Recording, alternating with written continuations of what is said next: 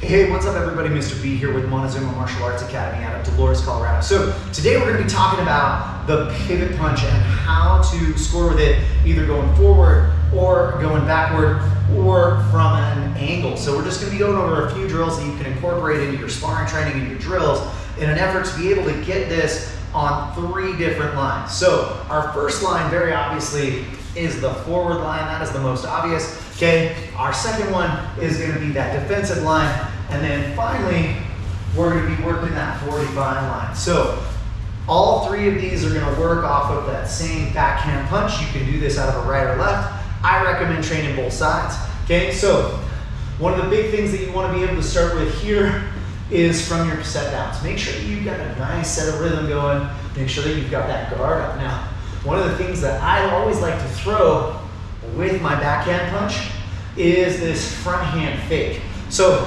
it can be a block if I needed to, but what this does is as I'm moving, this starts to draw their attention up high. Okay, so I want their hands to come up, boom, so that I can push through with that backhand punch. So I want to draw the guard up and then score. So when I'm here, boom. Now, a lot of people think that because we're moving, like we're saying that this is a forward attack, they immediately have to like. I don't like to do that. I like to get as much extension with my technique first and then use the leg to get whatever additional distance I need. So you really just want to practice here. Boom. Okay? Just being able to get that full hip rotation, full arm extension. Where a lot of people make a mistake with this drill is they stop short and then they feel like they have to run to their opponent to catch up. All right? I want to try and play the game. Can I score here? And then if I need to, push in.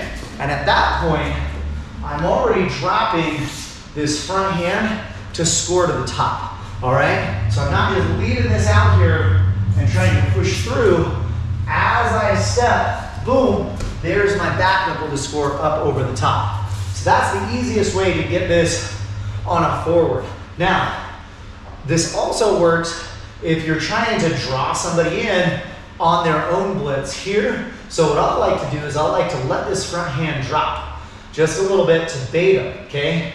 I want them to strike with that front hand to the head. So as they come in, I'm gonna bring that hand up. Like I said, this draw acts as a fake, but it also acts as a nice easy rising block. So as they begin to strike with that front hand, I'm gonna go ahead and start to fade away, boom, and score. And I'm gonna try to not only get away, but also get underneath. So I'm changing the plane of my fight from here boom, to here, and I'm gonna drop underneath, all right? And then, like I said, I need to move back. One of the things that we make a mistake thinking about when we're point sparring is making sure that there's enough room for the referee to see it, all right?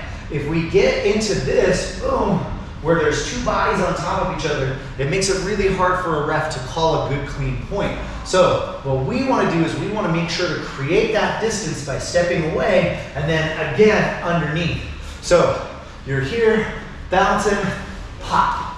You're here, bouncing, pop. Nice and easy, okay? And then like I said, always making sure to work both sides. Now, say we've got a fighter that's starting to turn on okay? He's starting to move to what I call the weak side. He's starting to move over here to our back side so that he can outflank us and counter, all right? We're gonna let him do that, especially if he's just kind of bouncing here, all right? We're gonna let him kind of take a couple of steps here because what we wanna do is as he gets to about two o'clock, right here, okay? That's when I'm gonna cut him, boom. And I wanna try and time his bounce, all right? So if he's here, one, two, okay?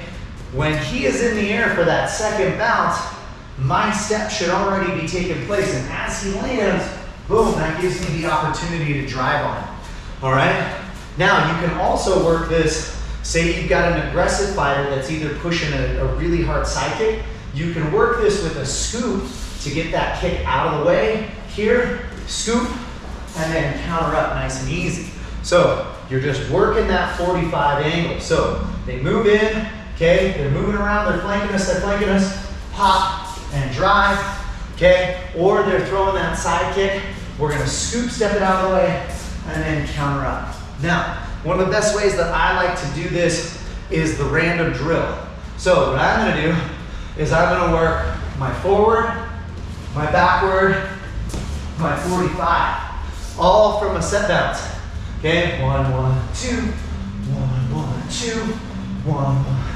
Okay, and you can basically work that combo, any of those three, all the time from that two bounce. Okay, one, two, go. One, two, go. One, two, go. Okay, and you can set your timer. You can run that for a minute, two and a half minutes, three minutes, whatever you need to do to get those reps in. All right, guys, that's been our tutorial on the reverse punch and how to hit it moving forward, backward, and on a 45. If you like what you're seeing, like and subscribe. And until next time, train hard, fight fast, score first. Outside.